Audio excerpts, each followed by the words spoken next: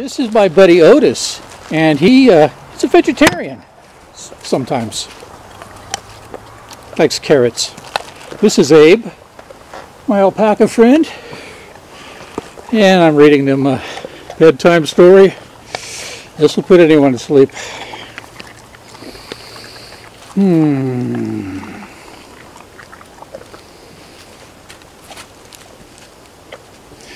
The prophet proceeds further to predict and illustrate the wonderful events by the resurrection of the valley of dry bones. I guessed it. which God, uh, which figure God thus explains Son of Man, these bones are the whole house of Israel. Behold, my Behold, they say, our bones are dried, and our hopes lost. We are cut off from our parts. Uh-oh, you're not going to make him spit at me, are you? Oh well, I got my hoodie up. I guess it won't matter. Him some more carrots.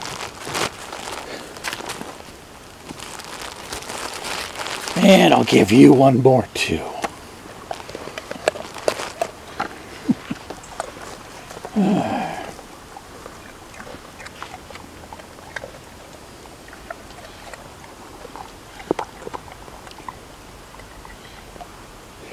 Therefore prophesy, and say unto them, Thus saith the Lord God, Behold, O my people, I will open your graves and bring you into the land of Israel, and you shall know that I am the Lord. When I have opened your graves, O my people, and brought you up out of your graves,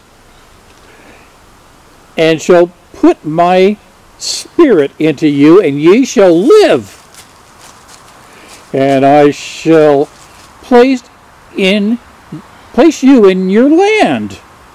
Finally, he'll pay off those IOUs.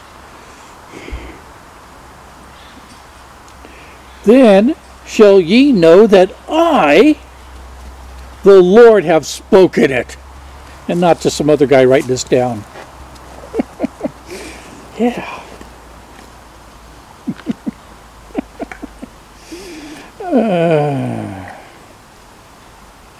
And performed it, saith the Lord. The reunion of the two branches of that people follows by the figure of the two sticks taken by the prophet. On the one he writes for Judah and for the children of Israel, his companions.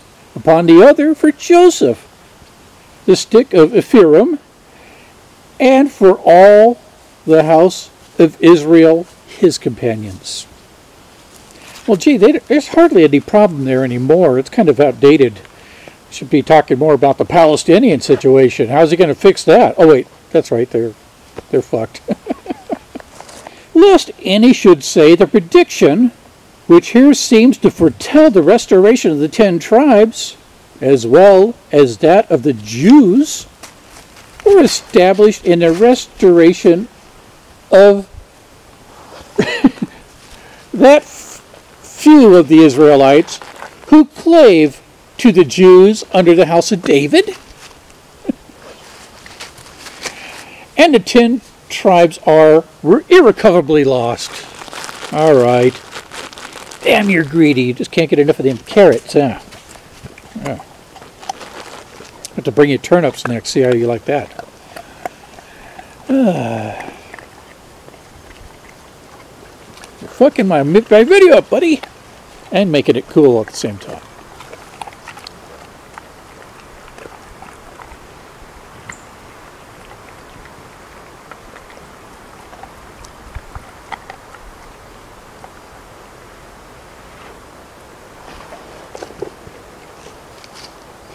These sticks miraculously became one in the prophet's hand, which is thus explained.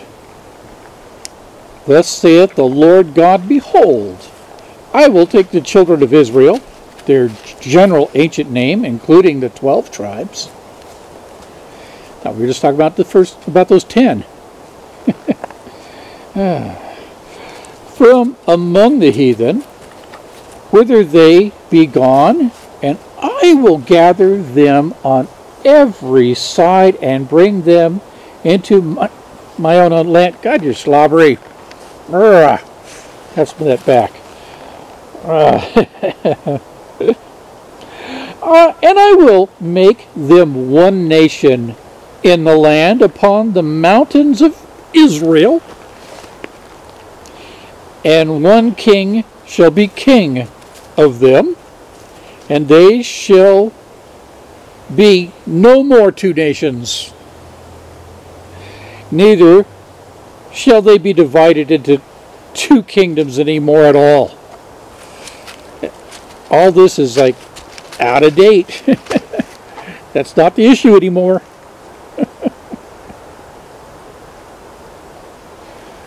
oh. And they shall dwell in the land that I gave unto Jacob, my servant, wherein your fathers have dwelt, some of them and they shall dwell therein, even they and their children, and their children's children forever. Can a doubt here rest on the subject whether the Jews and the ten tribes shall be reestablished in Palestine? Can such divine testimony as this be done away? But similar testimonies to the point are numerous in the prophets. Pray tell. These passages, this passage has never yet received a primary or partial fulfillment. The whole of it remains to be fulfilled. Some of the predictions, which are to have an ultimate accomplishment in this final restoration, have a primary one in the restoration from the 70 years captivity in Babylon.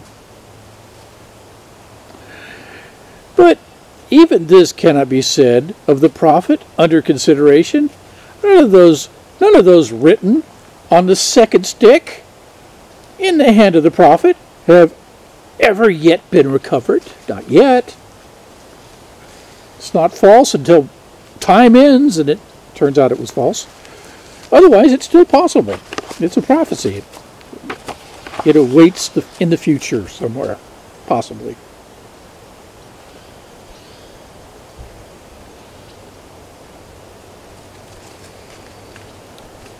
The whole passage is intimately connected with the battle of that great day, which introduces the millennium as appears in the two following chapters. Here the house of Israel enter again upon their everlasting possession of the land of promise, which God engaged to Abraham. And I'll pick this up in the middle of page 33. Can take no more. It's dog slobber all over me. But no alpaca spit, I don't think.